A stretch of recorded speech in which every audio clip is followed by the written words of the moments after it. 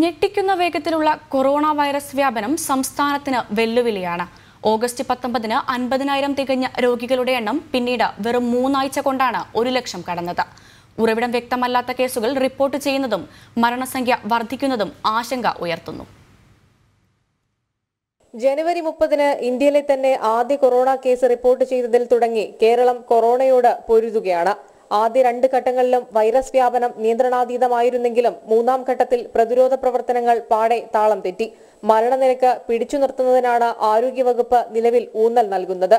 August പത്തൊൻപതിനാണ് ആകെ രോഗികളുടെ എണ്ണം അൻപതിനായിരം കടന്നത്. എന്നാൽ പിന്നീട് വെറും ഇരുപത്തിരണ്ട് ദിവസം കൊണ്ട് രോഗികളുടെ എണ്ണം ഒരു ലക്ഷം പിന്നിട്ടു. മരണനിരക്കും മുകളിലേക്കാണ്.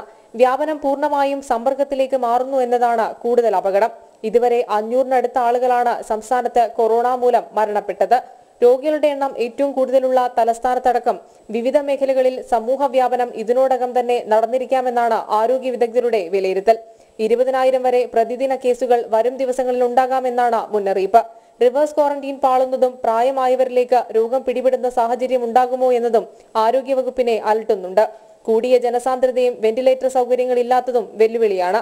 ജനം തിരുവനന്തപുരം.